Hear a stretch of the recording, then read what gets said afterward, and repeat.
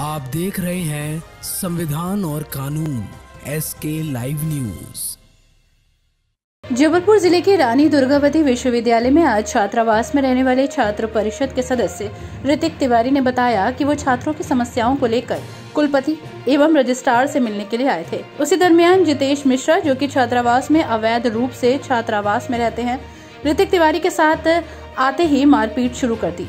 जिसकी शिकायत civil line थाने में की गई। पुलिस मामले की जाँच कर रही है। कृषि विभाग का छात्र हूँ, जो कि देवेंद्रपुर छात्रावास में रहता हूँ। हम लोग कुछ माह पूर्व से अपना जो रिज़ल्ट आया है, यहाँ पे विभाग शुरू हुआ, दो सालों में एक सेमेस्टर हुआ, सर।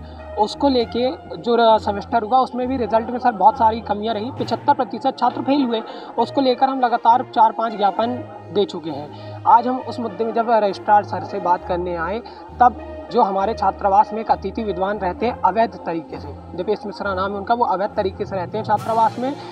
वो वहाँ पे वार्डन सहायक भी हैं, सर। छात्रावास के बाहर, सर, आज जब हमारे यहाँ ज्ञापन देने तो थोड़ी देर ज्ञापन चला। रजिस्ट्रार सर ने बोला कि तुम चार बजे तक यहाँ बैठे रहो, मैं यहाँ रिपोर्ट पहुँचवाऊँगा। हम लोग बैठ गए। हम लोग चार बजे तक सर यहाँ बैठ गए क्योंकि हम पिछले बहुत सारे महीनों से हम सुनते आ रहे हैं कि मीठी बोली मीठी बोली। आज हमने बोला सर हम निर्णय सुनने आए हैं। आप सुना दीजिए क्योंकि पचहत्तर प्रतिशत छात्र सर बहुत बड़ी संख्या होती है। उसी बीच सर हमारे वार्डन साहब आए या अतिथि विद्वान साहब आए दीपेश मिश्रा।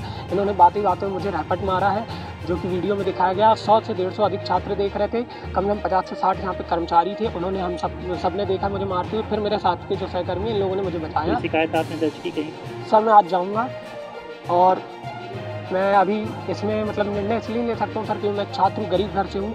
इन्होंने मुझे धमकियाँ कई बार दिलवाई हैं कि तेको कटवा के फिकवा देंगे, मरवा देंगे जान से।